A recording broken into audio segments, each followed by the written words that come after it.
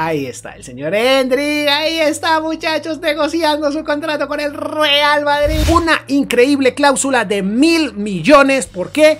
Este sujeto es descarado, chicos. Sigue con sus mismos 8.6 millones de euros por temporada. Llega a España y de España salta a Inglaterra. Define nuevamente con su pierna mala un riendazo brutal y balón adentro, chicos. Primer historia de fútbol que tenemos en este FIFA 23, chicos, y la vamos a iniciar de la mejor manera con uno de los brasileños más prometedores del momento. Hendrik Felipe Moreira de Sousa, chicos, la sensación del Palmeiras, el chico de 16 años que acaba de firmar su primer contrato profesional con el dicho club y que en este instante interesa a grandes, pero muy muy grandes equipos de Europa entre ellos el Real Madrid, que es con el que vamos a hacer este simulando la carrera de Hendrik. ¿Cuáles son las intenciones con este episodio? Pues ver qué sucede en las próximas 10 temporadas. 10 temporadas en las que tendremos en cuenta todo lo que consiga el chico a nivel individual como a nivel clubes. Esto significa que vamos a tener en cuenta sus goles, vamos a tener en cuenta sus asistencias, vamos a tener en cuenta su rendimiento, vamos a tener en cuenta su salario, vamos a ver cuánta riqueza logra acumular durante los próximos 10 años y también vamos a tener en cuenta lo que suceda a nivel selección, si es que es llamado a la selección, que tal vez muy probablemente los, lo sea, si tenemos Copa del Mundo, todo eso lo vamos a tener en cuenta en este episodio.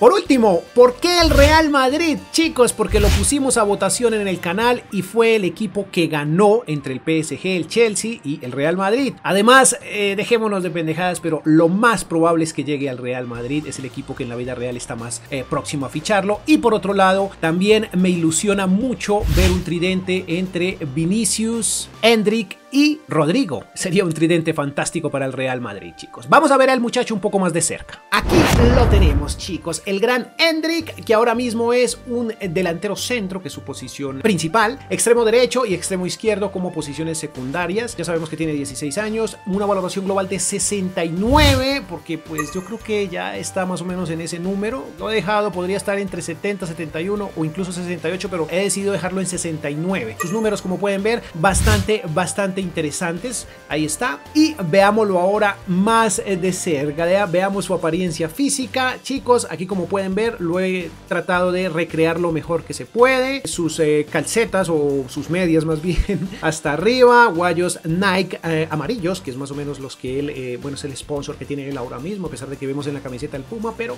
él es sponsor de Nike. Ahí tenemos al gran Hendrik. Yo creo que la intención ahora mismo es ficharlo. Su valor está por encima de los 3 millones. Pero aquí dicen que quizás tengamos con 2.5 podamos tener chance de ficharlo. Aunque tiene una cláusula de 15 millones. ¿Por qué tiene esa cláusula? Porque resulta que es el valor que tiene actualmente en Transfer Market. Y tal vez eso le toque pagar al Real Madrid. Uno no sabe porque todavía no han hecho ningún fichaje. Voy a intentar ficharlo mmm, ahora mismo en la primera temporada. Miren, sí, perfecto. Creo que está bien porque tal vez eso le toque pagar al Real Madrid. Tal vez menos, no sé, pero yo creo que así están las cosas. Vamos a negociar su contrato, el cual se lo vamos a dar por 5 años, pero ojo al dato, chicos. Esperen un poco, esperen, esperen. Ahí está el señor Hendrik, ahí está, muchachos, negociando su contrato con el Real Madrid, con Carleto Ancelotti, que tal vez si llega este muchacho eh, va a llegar tal vez hasta el 2024, que es cuando se dicen. Ojo con ese dato porque es importante para este episodio. Este muchacho aparentemente termina contrato con el, el Palmeiras, eh, firmó hasta el 2025, pero se dice que tal vez en el 2024 pueda llegar a Europa. No sabemos si el primero de enero de 2024 o en junio de 2024, pero más o menos es así la cosa. Por otra parte, nosotros lo vamos a fichar, va a llegar al Real Madrid evidentemente, pero lo vamos a enviar a préstamo. Dos temporadas y a partir del 2024, cuando ya Karim Benzema muy seguramente necesite recambio, lo vamos a tener en el club, muchachos. Ay, como está, llega Hendrik, Hendrik al Real Madrid, ha llegado a España, ha llegado al Santiago Bernabéu y esto realmente tiende a ponerse fantástico, tiende a ponerse muy emocionante este episodio porque ya saben, ya dijimos todo lo que vamos a tener en cuenta. ¿Será que llega la selección? Pues muy seguramente teniendo buen fútbol. 2024 será el debut de Hendrik en el Real Madrid. De momento vamos a enviarlo a préstamo y creo que va a ser el recambio perfecto. Ya me imagino ese tridente entre este señor Vinicius y Rodrigo. Ahí está, ¿qué tal estuvo la negociación? 15 millones, bastante alto, pues por la cláusula, evidentemente. Creo que no, no es una mala negociación, muy seguramente sí. Pero bueno, chicos, eso no importa, nosotros tenemos el poder. Ya saben que una estrella como esta no pasa desapercibida, ya tenemos dos propuestas. El Galatasaray realmente no me interesaría, la rechazaré, pero esta del Brighton sí es muy atractiva, muchachos. Es un equipo donde este muchacho podría despegar muchísimo. Voy a delegar esto sin opción a compra y lo voy a mandar por dos años. Ojo que si se lo lleva, o bueno, lléveselo el equipo que se lo lleve, iremos a dirigir para darle los minutos que se merece y desarrollar a este chico. Perfecto, llega a Europa, llega a España de España salta a Inglaterra, al Brighton más exactamente, se va en préstamo dos años este muchacho. Ay Dios chicos, la carrera de este brasileño que con 16 años sé que la va a romper. Que tengas un buen día, alguien que pida un em, Uber para este señor o se irá en taxi, bueno, que haga lo que quiera, ¿no? o que coja transporte público. Bien chicos, vamos a continuar esto. Ese señor que siempre me pareció que es como familiar de Sadio Mané. a ver, préstamo perfecto. Hendrik, dos años al Brighton. Creo que es perfecto. Esto significa, chicos, que eh, tenemos que ir al eh, Brighton a dirigir ese club dos temporadas. Esta plantilla es la que tiene ahora mismo el Brighton, una plantilla en la que realmente no vamos a enfocarnos mucho. Eh, conocemos, porque el episodio no se trata de el Brighton, se trata de este señor que va a tener minutos, pero moderados, muy moderados, porque pues sabemos no tiene la media perfecta para estar de titular, obviamente para tener tantos minutos. Welbeck es una competencia dura para Hendrik, porque este señor que tiene 26 años es el titular, ¿no? Entonces el recambio perfecto es Welbeck, pero Welbeck ya es un veterano de 31 y lo podríamos vender más adelante. Si llega una oferta, quedaría de pronto este señor Hendrick. Entonces a Hendrick le sirve que vendamos a Welbeck. Un inicio de temporada flojo, chicos, pero aquí como pueden ver, bueno, empatamos un partido y perdimos otro. La cuestión es que Welbeck ha sido vendido y creo que este partido es el idóneo para ver en acción a nuestro muchacho. Creo que eh, voy a meterlo de primeras. sé que no debería debutar así, pero es un equipo bajo y vamos a jugar este partido con Hendrik, chicos. Un partido muy, muy importante, muchachos, porque era el debut en Europa para Hendrik, que venía de las canchas brasileñas y venía directamente a Inglaterra a debutar, muchachos. Minuto 4 y inicia esta gran jugada en donde Hendrik de manera magistral y con toda esa calidad que le sobra define y al minuto 5 pone a ganar a su equipo el Brighton. Hendrik que ya portaba el número 9 en su camiseta, chicos, y con una definición magistral eh, le regala el primer tanto a este equipo. La felicidad era total. Debutar en Europa y debutar con gol y en un gol tempranero y una definición tan, tan espectacular. Realmente nos llenaba de ilusión en este episodio porque este muchacho estaba mostrando cosas fantásticas justo en este instante, muchachos.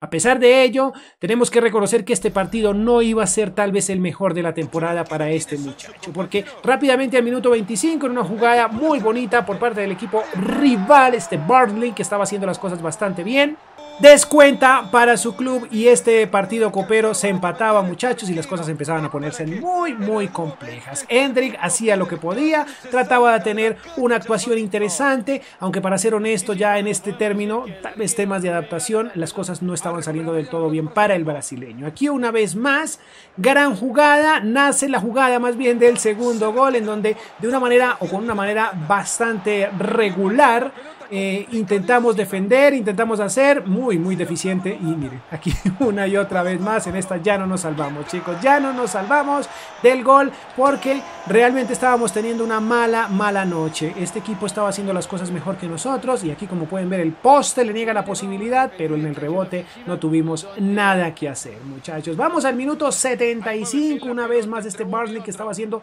de todo para hacer y nosotros defendíamos muy, muy regular. De hecho, defendíamos mal y esto ya era una goleada 3 por 1. El debut de nuestro protagonista realmente se estaba tornando muy, muy maluco, muy mal a pesar de su gol. Realmente su equipo estaba siendo aplastado en calidad de Em, visitante, muchachos. Así termina un debut no tan bueno, pero sí hay que reconocer que Hendrik tuvo una actuación interesante, muchachos. Al menos debutar con gol con 16 años en Inglaterra, creo que está bastante bien. Su primera temporada en Inglaterra no fue del todo bueno. Por poco desciende el Brighton. Muy bien chicos, aquí lo tenemos. Eh, como pueden ver, Hendrik ha jugado 15 partidos, los partidos menos complicados. Hizo 6 goles. Ojo, ojo con eso, que 6 goles cuentan, cuentan muchísimo. No tuvo asistencias, como pueden ver, es un jugador de 17 años y creció 3 unidades, creo que no está nada mal. Su promedio en toda la temporada fue 6.62, aunque su club no le fue muy bien, creo que él hizo un buen trabajo chicos. Ojo que le hemos puesto su 16, porque no entiendo por qué me resultó con el 9, fue un pequeño error de cálculo. Evidentemente no es de los más costosos, de hecho cayó un 23% en su valor comercial. El tema es que aquí vamos a ver su salario, chicos. Como pueden ver, tuvo esta primera temporada un salario de 5.600 euros. Eso nos da que mensualmente ha generado 22.400 euros para un total de 268.800 euros. Eso ha generado para su cuenta bancaria este señor en la primera temporada. Ahora sí finalicemos. Vamos a la segunda temporada a ver si mejor los números del Brighton, porque al menos los de nuestro protagonista creo que no van tan mal.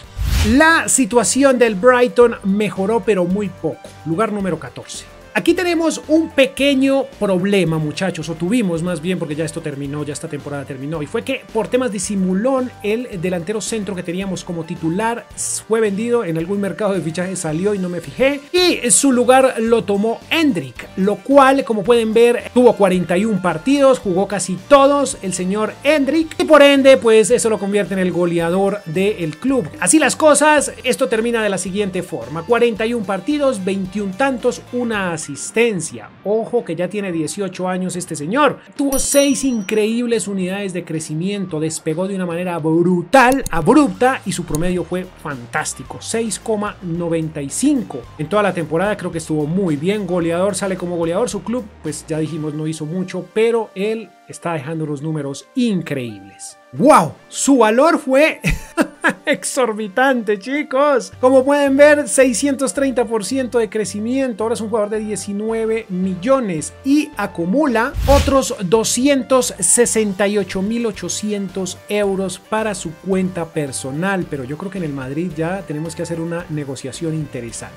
Como sabemos, la historia de Hendrik en eh, Inglaterra termina justo acá y ustedes y yo en la tercera temporada nos vamos a ver, pero en el Santiago Bernabéu. Tercera temporada y hemos regresado al Madrid. Este es el Madrid que encontramos en este instante con un Karim Benzema ya de 36 años y 83 de media que sigue siendo titular, sigue siendo del equipo, yo creo que se retirará aquí. Brahim Díaz que para esta temporada va a tener protagonismo, va a ser titular, ya tiene 25 años, 84 y medio, un poquito quedado, pero en la vida real también dicen que va a quedarse definitivamente en el Madrid. Tenemos todavía por aquí a Chuameni, también a Valverde, como pueden ver Rodrigo, Carvajal, Militao, Rudiger, Mendy, o Mendy más bien, eh, Vinicius Junior y Courtois, que en este momento ya cuenta con 30 años. Eh, eh, se va a quedar, le he cambiado a extremo izquierdo y se va a quedar en la plantilla. Y aquí tenemos a nuestro Hendrik, que le quedan dos años de contrato, muchachos. Este es el Madrid que tenemos. Ahora vamos a un partidillo, porque es el debut, como pueden ver aquí. Déjenme mostrarles. Aquí tenemos, termina el mercado de fichajes de este 2024 y tenemos este partido, el cual va a ser el debut oficial de Hendrik en el Madrid, muchachos. Así que vamos a jugar ese partidillo porque es sumamente importante el debut de este señor por primera vez después de su fichaje al eh, Real Madrid. Veamos qué dice la prensa, veamos qué dicen todos, ¿no? Porque este sería el partido más importante de ese señor que tenían en pantalla, del señor Hendrik, debido a que era su debut en la Liga Santander, su debut en el Real Madrid. Aquí vamos al minuto 25 donde Rodrigo logra escapar, asistir cabezazo de Vinicius y adentro, papá. Una maravilla de gol, un eh, dueto perfecto que estaban haciendo Vinicius y Rodrigo en esta ocasión, muchachos. También, eh, bueno, varios brasileños, ¿no? Porque ahí teníamos también a Militao y ahí Hendrik festejando porque era partícipe también de este gran momento para el Real Madrid, que se ponía adelante al minuto 25 con un tanto en la cabeza de Vinicius Jr., que de una manera eh, increíble logra ganarle la posición a todos y balón adentro, papá. Nada que hacer con este Vinicius que estaba gigantesco esta tarde, muchachos. Nuevamente Vinicius por aquí crea una ocasión con Chuameni. Chuameni asiste a nuestro invitado especial y tenemos el primer gol, muchachos. Minuto 36 y tenemos el primer gol de Hendrik en el Real Madrid. Solo necesitó de 36 minutos para mostrar su categoría, para mostrar toda su calidad, para mostrar todo el potencial que tenía ahora mismo el Real Madrid puesto en este muchacho, ¿no? Gran, gran asistencia de Chouameni. Miren cómo se voltea y sin pensarlo demasiado. La definición creo que fue la de un killer, ¿no? Porque, miren, voltea el cuerpo totalmente y el balón en, otra situación o otro jugador lo hubiera mandado lejos, pero no. Él lo metió justo donde tenía que ir. Ahí celebraba Carleto Ancelotti que estaba feliz con su nueva adquisición, el nuevo recambio de el señor Karim Benzema. De esta forma terminaría lo que sería el primer tiempo. Entre los mejores puntuados del partido estaba Hendrik con 7.4, pero el mejor era el señor Vinicius Jr. con 8.1. La verdad, estaba teniendo una buena tarde el Real Madrid y nuestro muchacho también se la estaba pasando bastante bien. Una nueva ocasión, minuto 49, define Valverde una gran asistencia de Hendrik, pero por fortuna para el equipo contrario, el portero estaba ahí listo, muchachos.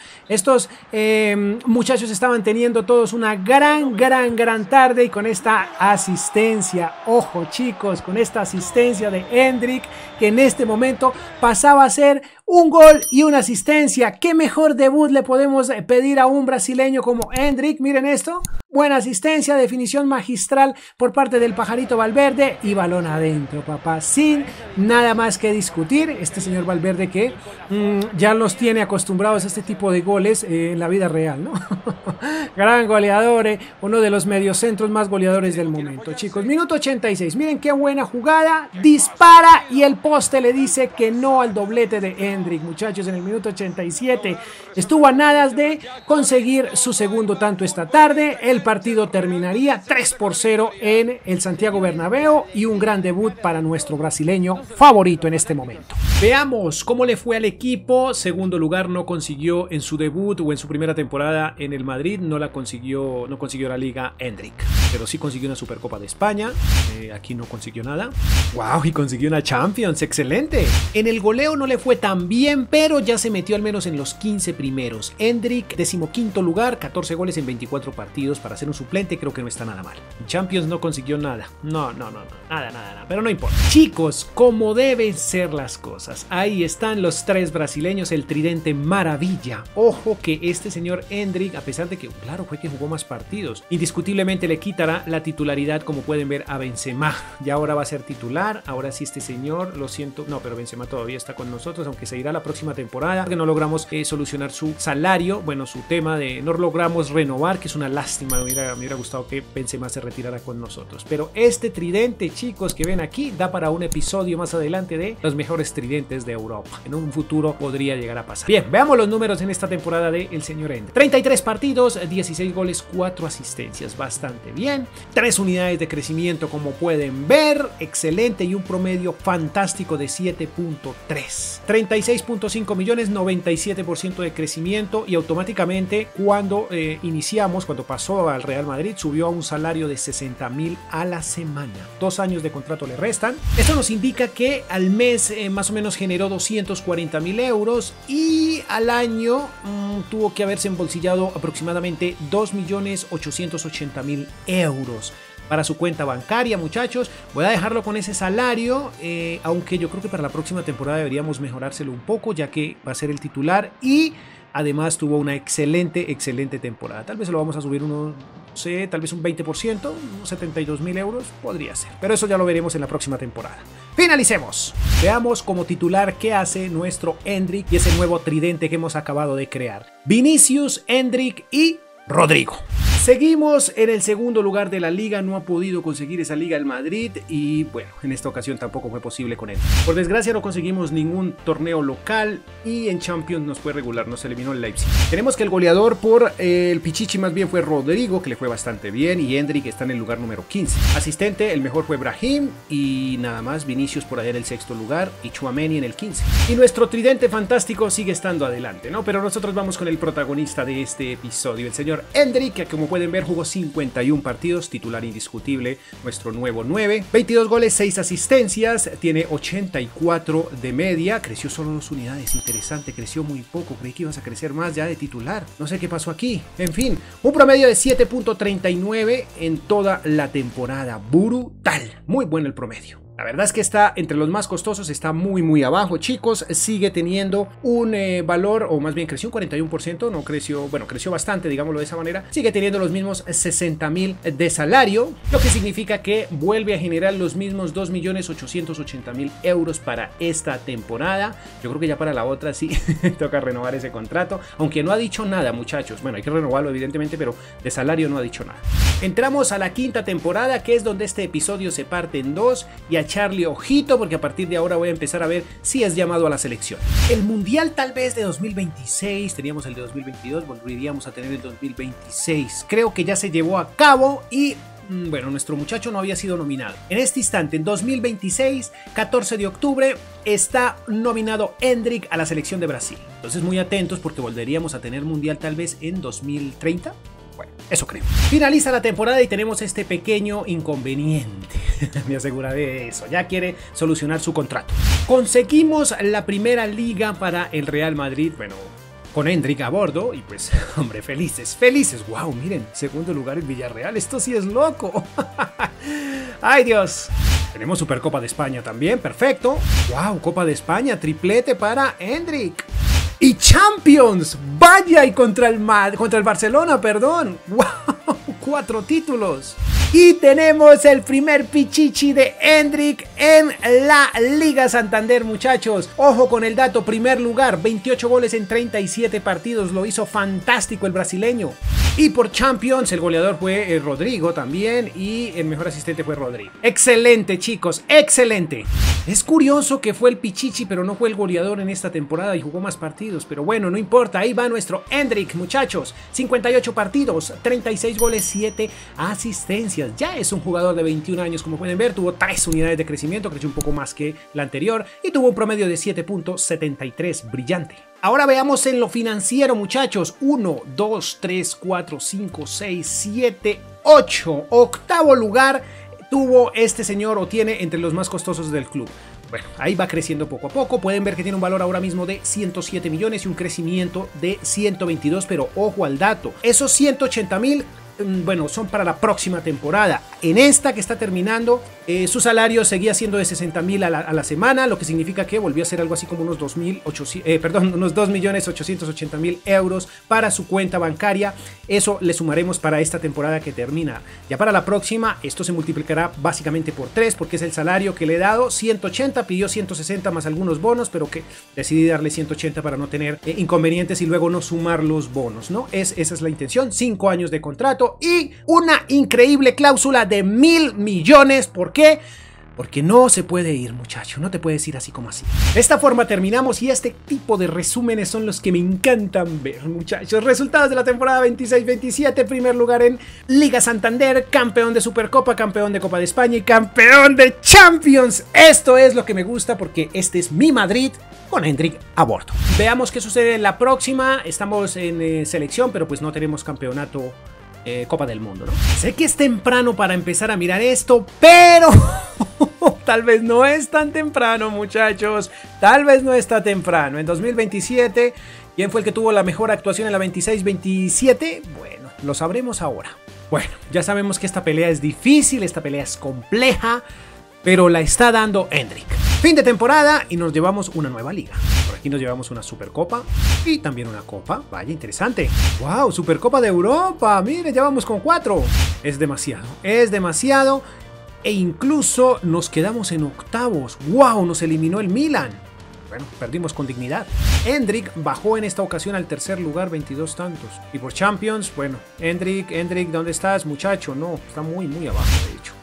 Tenemos, no tuvimos balón de oro, pero sí tenemos un jugador con 55 partidos, 33 goles, máximo anotador, 6 asistencias, que ahora mismo ha subido 4 unidades, muchachos. Ojo al dato, y un promedio de 7.58 fue el mejor puntuado de toda la temporada en nuestro club. Excelente. Ahora sí, ha subido un escalafón, no, ha subido varios, porque es el quinto mm, jugador más costoso de la plantilla. Como pueden ver, tiene un valor de 157 millones, tuvo un crecimiento del 100, de, perdón, del 33% y su salario ahora mismo de 180 mil, le permitió embolsar o añadir a su cuenta bancaria un total de 8.6 millones, para ser exacto 8 millones 640 mil euros se embolsilló en esta temporada Hendrik, fuera evidentemente de lo que serían contratos publicitarios, ¿no? que deben ser o tuvo que haber sido mucho más. Vamos a la séptima temporada, si mal no estoy chicos, ya solo restan tres y hombre, ya vamos es por el balón de oro y evidentemente, quien quita que consigamos algo en el 2030 con la selección de Brasil, porque somos, este muchacho está ya incluido en ese parche de la selección brasileña. Chicos, sigue nominado, dos nominaciones hay que ya notarle a nuestro Hendrik, pero veremos si esta vez es capaz de derrotar a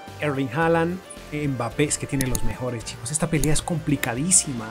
O sea, hay que entender que es que la tiene muy dura Hendrik, por Dios. Wow, no, no, no, no, no, es que es difícil, chicos, es muy complicado, pero aún así Hendrik sigue dando la batalla. Nuevamente Liga, nuevamente Supercopa, esto ya se está poniendo aburrido.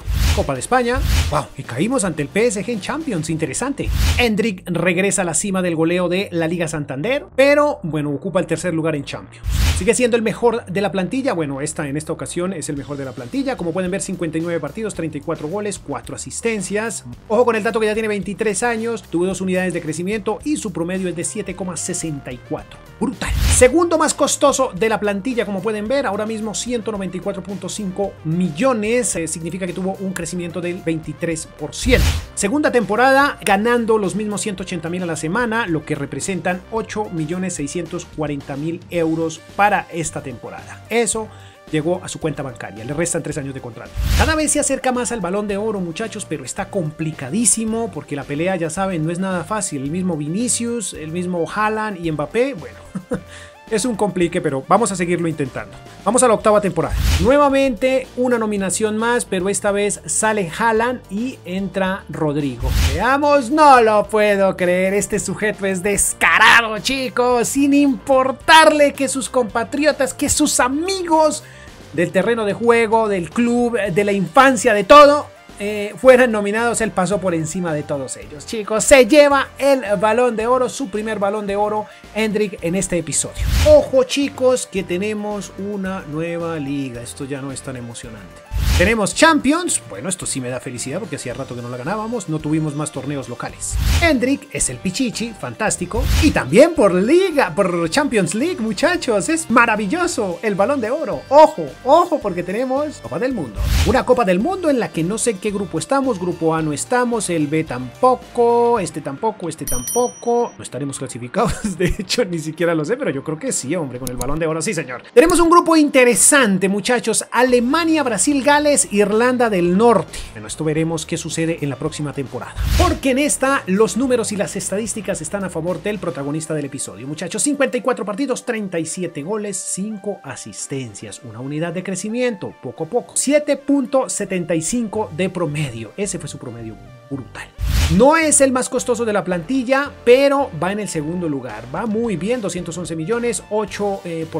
Eh, ya para la próxima temporada voy a renegociar y voy a subirle al menos un, no sé, tal vez un 30% de su salario por haber conseguido ese balón de oro. Brutal. 180 mil, lo que significa que vuelve a ganar los mismos 8 millones 640 mil esta temporada, pero para la próxima, como dije, y más si consigue el, eh, la Copa del Mundo, no lo sabemos, ¿no? Pero eh, le vamos a aumentar, voy a subirle yo creo que un 30% más o menos. Bueno, esperemos a ver qué pasa. Porque en la novena temporada, como dije, si, consigue, si logra pasar a la final eh, o conseguir el, eh, la Copa del Mundo sería fantástico, chicos. Sería fantástico. Continúa la Copa del Mundo y como pueden ver, Brasil eh, en octavos enfrenta a Rumania. Vamos en semis. Polonia y Lewandowski con Coca-Colowski nos espera, aunque yo creo que ya Lewandowski no está por acá. Bueno, bueno, bueno, muchachos. Esto está interesante. Llegamos a la final. Como era de esperarse, el pedazo de equipo que debe tener este Brasil que tiene una cantidad de balones de oro, bueno, jugadores balones de oro. Pero me hubiera gustado, bueno, creo que con Portugal no está nada mal, pero me hubiera gustado otra final, chicos. Vamos a tomar las riendas de la selección, pero este partido lo jugaré y lo dejaré para rematar el episodio. Jugaré ahora y saldrá al final. Seguimos con los mismos brasileños nominados al balón de oro, pero esta vez con Mbappé. ¡Wow! Segundo balón para nuestro muchacho, perfecto. Ya saben que conseguir la liga se ha vuelto aburrido en este episodio. Copa de España, Supercopa de Europa, interesante, y en semifinales caímos en Champions. Veamos, el Pichichi fue Vinicius, nuestro protagonista, ¿dónde quedó? ¿Dónde quedó? ¿Dónde quedó Brahim? El mejor asistente fue Brahim y por Champions tampoco tenemos a nuestro chico. Gran temporada la de Vinicius eh, en esta ocasión, pero bueno, fue el goleador, etcétera, etcétera. Hendrik, 58 partidos, 22 tantos, 2 asistencias. Ojo, ya tiene 25 años, una unidad de crecimiento y 7.23 de promedio. Es el segundo más costoso en este momento de la plantilla, es que ese Vinicius es brutal, por Dios santo, ya tiene 30 años. En fin, 224.5 millones, un 6% de crecimiento y se embolsilló para esta temporada 8 millones 640 mil euros. Viene con eso mismo, chicos, y la verdad fue que al final de cuando supuse que íbamos a aumentar el sueldo, eh, al final eh, no lo hicimos, chicos, lo olvidé. Pero bueno, él tampoco ha dicho nada. Vamos para la décima y última temporada, muchachos, en la que no sé si eh, solucionar, aumentarle su contrato o dejarlo así. Porque no sé si haya una segunda parte. Dependiendo el, apoyo que tenga este episodio, pues habría una segunda parte y veríamos dónde terminaría su carrera Hendrik. Estamos en la entrega del balón de oro, bueno, y los nominados siguen siendo los mismos. Y bueno, esta vez se lo quitó. el señor Vinicius le quita el balón a Hendrik, pero bueno, tiene dos balones. Y así finalizamos esta eh, décima temporada. Qué cantidad de ligas, muchachos, impresionante, pero no se compara con lo que hicimos con Hala. En ese episodio ganamos demasiadas ligas. Copa de España y bueno, nos quedamos sin Champions. Hendrik regresa al Pichichi, como pueden ver, pero por Champions no consiguió nada, Hendrik. Veamos, volvió al primer lugar como mejor jugador de toda la plantilla, 53 partidos, 38 goles, 3 asistencias. Muy bien, Hendrik, que finaliza con 26 años, porque está la décima temporada, y no tuvo crecimiento para dicha temporada. Su promedio en toda la temporada fue de 7,81. En lo financiero, como pueden ver, se coronó ahora sí como el más costoso de la plantilla, aún así cayó un 2%, le resta un mes de contrato, sigue con sus mismos 8.6 millones de euros por temporada, 8 millones 640 mil para ser exacto. Habría que ver si continúa, si eh, tenemos una segunda parte, ustedes me lo hacen saber a través de los comentarios y de ser así, pues no sabemos si continúe acá, si vaya a otro club, porque recuerden que por aquí está, nos solicitó una transferencia. En fin chicos, vamos entonces en en este instante a ver el partido, que yo ya lo jugué, ya sé cómo terminaron, pero ustedes aún no lo saben. Una vez terminemos ese partido, haremos el resumen de la carrera de este señor, cuánto ganó, cuántos eh, títulos consiguió, cuántos goles hizo y cuánto dinero se echó al bolsillo. Vamos allá. Así hemos encontrado, bueno, este 11 de Brasil, que recuerden que ya han pasado casi 10 años, ¿no? Hendrik y eh, Rodrigo. Este es el ataque que tiene Brasil ahora mismo. Ahí está, chicos. Vamos al partido. Partidazo más bien, porque ya sabemos que el encuentro entre portugueses y brasileños siempre nos ha dejado o nos ha dado esa leve impresión de que es un gran partido, es un gran encuentro y la verdad este no iba a ser la excepción y vamos a tener un partido con muchas emociones Ahí tenemos a Hendrik luciendo su eh, chaqueta de la selección brasileña. Fantástica. Eh, bueno, me encanta, me encanta. Todo siempre me ha gustado ese color de la, camiseta eh, brasileña. Chicos, nueva o primera ocasión más bien al minuto 38 y salva el portero. Ahí no lo podía creer este señor Vitiña. Se iba el balón al tiro de esquina. Rubén Neves, eh, minuto 39, un minuto después, vuelve y lo intenta en la selección rusa que la verdad era que estaba teniendo una gran noche, estaba jugando bastante bien. Y aquí nace en el minuto 45, cuando creímos que todo iba acabando, nace esta jugada un poco extraña muy bien estructurada por parte de eh, Portugal, pero que todavía no logro entender cómo ningún, eh, bueno, nuestro central logra eh, de pronto detener la trayectoria del balón cuando Vitiña decide definir, chicos. Este mediocampista al servicio del PSG, esto lo digo en la vida real, logra meter el balón adentro, muchachos, y esto le daba la victoria momentáneamente a Portugal, muchachos. Es que no entiendo, no entiendo cómo el balón logra pasar. Quiero que lo veamos aquí un poco más de cerca. Miren, atraviesa literalmente las piernas del defensor, muchachos, y adentro. No lo puede creer Carleto Ancelotti, un técnico bastante extraño ahora mismo en Brasil y nos iríamos con un baldado de agua fría al primer tiempo, ¿no? 55 de posesión para ellos, entre los mejores puntuados estaba Vinicius y Hendrik con 6.3. El mejor era el señor Renan Lodi, increíble. Minuto 50. Se va Hendrik aquí, chicos, define tiro de calidad y adentro. Qué pedazo de gol el que nos regala en este momento nuestro protagonista, chicos, un golazo hay que reconocer cómo se lleva el balón con eh, gran potencia. Eh, tenía opción tal vez de centrar el balón, pero se sintió capaz de definir, se sintió capaz de meter ese balón adentro y lo hace de la mejor manera. Miren como todo un killer, se va y define, ojo, define con la mocha porque él es zurdo y define de muy buena o con muy buena calidad con su pierna derecha, lo cual quiere decir que debe tener al menos 5 de pierna mala. Impresionante definición, chicos. Feliz celebra el joven brasileño que estaba haciendo historia en su selección. Esto le daba el empate momentáneamente, pero no por mucho tiempo a Brasil porque en el minuto 63 descontaría nuevamente el equipo luso, muchachos, y esto se pondría 2 por 1. Este 9 que estaba haciendo, bueno, estaba teniendo una noche muy, muy, muy, muy buena como eh, delantero centro, muchachos. Estaba fantástico, un poco triste, 2 por 1. Y aquí llega una nueva jugada en donde Endrin lo intenta de media distancia. Sale Rodrigo, entra el señor Anthony, un cambio, nuevas piernas para ver si esto nos funcionaba y tratar de empatar el partido a como fuera, a como diera lugar, perdón. Vamos eh, directamente al minuto 83. Nace una jugada interesante interesante.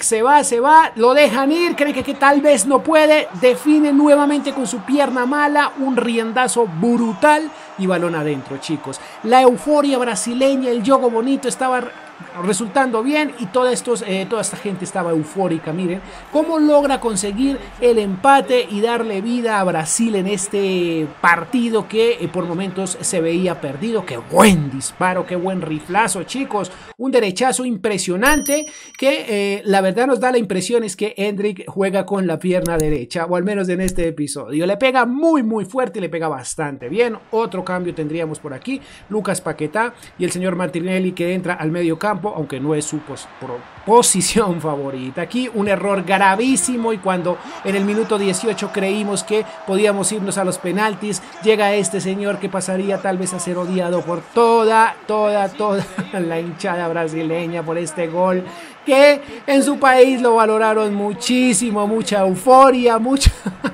mucha felicidad por parte de los lusos, ¿no?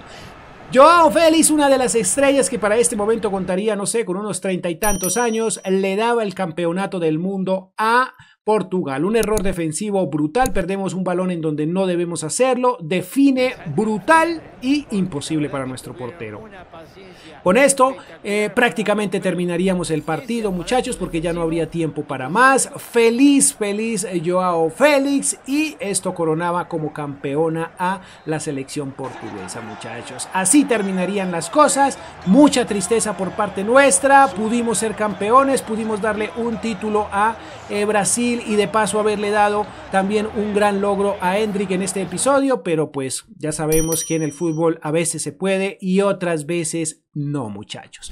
De esta forma terminamos el episodio, muchachos, pero vamos a ver cómo sería, o más bien vamos a ver el resumen de todo lo que hizo este señor durante estas últimas 10 temporadas.